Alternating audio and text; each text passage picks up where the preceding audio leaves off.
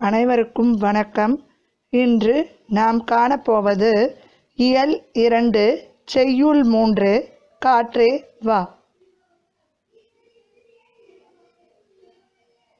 மகாகவி சுப்பிரமணிய பாரதியார் நீடுதுயில் நீக்க பாடி வந்த நிலா சிந்துக்கு தந்தை என்றெல்லாம் பாராட்ட பெற்றவர் எட்டயபுர ஏந்தலாக அறியப்பட்டவர். அவர் கவிஞர் கட்டுரையாளர் கேலிச்சித்திரம் கருத்துப்படம் போன்றவற்றை உருவாக்கியவர். இவர் சிறுகதையாசிரியர் இதழாளர் சமுதாய ஏற்றத்தாழ்வுகளையும் பெண்ணடிமைத்தனத்தையும் தன் பாடல்களில் எதிர்த்து எழுதியவர். குயில் பாட்டு பாஞ்சாலி சபதம் முதலிய காவியங்களையும் கண்ணன் பாட்டையும் பாப்பா பாட்டு புதிய ஆத்திச்சூடி என குழந்தைகளுக்கான நீதிகளையும் பாடல்களில் தந்தவர். இந்தியா சுதேசமித்ரன் முதலிய இதழ்களில் ஆசிரியராக பணியாற்றியவர். பாட்டுக்கொரு புல புலவன் என பாராட்டப்பட்டவர் பாரதியார். இவருடைய கவிதை தொகுப்பில் உள்ள காற்று என்னும் தலைப்பிலான வசன கவிதையின் ஒரு பகுதியே இங்கு நமக்கு பாடப்பகுதியாக கொடுக்கப்பட்டுள்ளது. அது என்ன வசன கவிதை? அதை முதலில் தெரிந்து கொள்வோம்.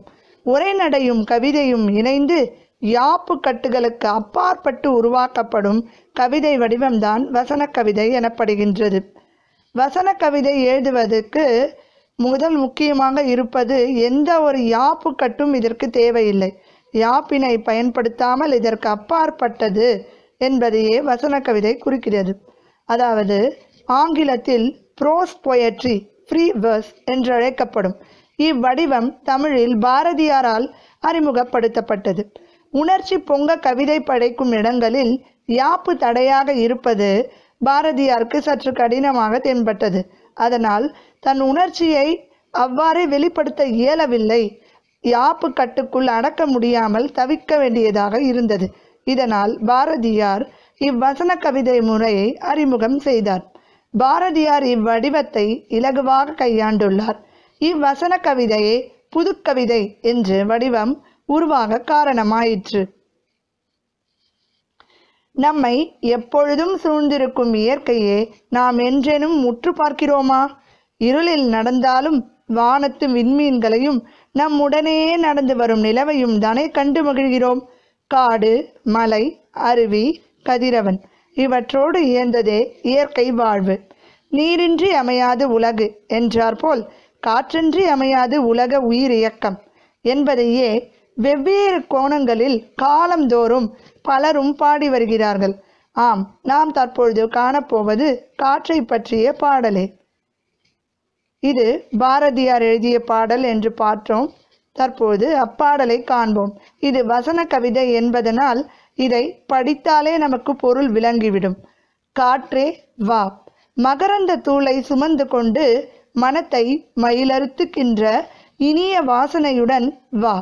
இலைகளின் மீதும் நீரலைகளின் மீதும் உராய்ந்து மிகுந்த பிராண ரசத்தை எங்களுக்கு கொண்டு கொடு. இது பாரதியார் காற்றை பார்த்து கூறுகிறார் காற்றே வா. மகரந்த தூளை சுமந்து கொண்டு வா என்றும் மனத்தை மயிலறுத்துகின்ற மயிலுறுத்து அதாவது மயங்க செய்கின்ற மனத்தை மயக்க செய்கின்ற ஒரு இனிய வாசனையுடன் வா என்று அழைக்கிறார். இலைகளின் மீதும் நீர் அலைகளின் மீதும் உராய்ந்து மிகுந்த பிராணரசத்தை எங்களுக்கு கொண்டு கொடு என்கிறார். பிராணரசம் என்றால் உயிர்வலி உயிர்வலி என்றால் ஆங்கிலத்தில் கூறப்படும் ஆக்சிஜனே. இலைகள் மீதும் நீரலைகள் மீதும் உராய்ந்து கொண்டு காற்றே எங்களுக்கு தேவையான உயிர் வாயுவை எடுத்து வந்து கொடு என்கிறார் பாரதியார். காற்றே வா. எமது உயிர் நெருப்பை நீடித்து நின்று நல்லொளி தருமாறு நன்றாக வீசு. எங்களுக்காக நீ நல்ல நன்றாக வீசு என்று கூறுகிறார். சக்தி குறைந்து போய் அதனை அவித்து விடாதே. பேய் போல் வீசி அதனை மடித்து விடாதே. மெதுவாக நல்ல லயத்துடன் நெடுங்காலம் நின்று வீசிக்கொண்டிரு எங்கள் உயிர் நெருப்பு ஒரு நெருப்பு எரிய வேண்டுமென்றாலும் அதற்கு காற்று தேவை. அது அணைய வேண்டுமென்றாலும் அதற்கு காற்றுதான் காரணமாக இருக்கிறது. நிதானமாக காற்று வீசினால் நெருப்பு நன்றாக எரியும். மிக வேகமாக காற்று வீசினால் அந்த நெருப்பையே அழித்துவிடும்.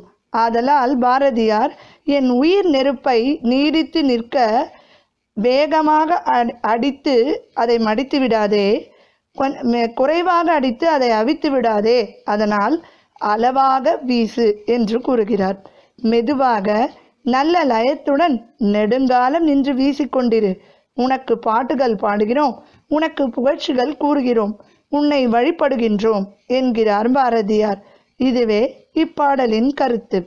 நாம் பாடலை படிக்கும் பொழுதே அதில் உள்ள சொற்களின் பொருளையும் அறிந்து கொள்ள வேண்டியது அவசியம். அப்பொழுதுதான் அது செய்யுள் திறனறி வினாக்களில் கேட்கப்படும் பொழுது எழுத எளிதாக இருக்கும். நன்றி வணக்கம்.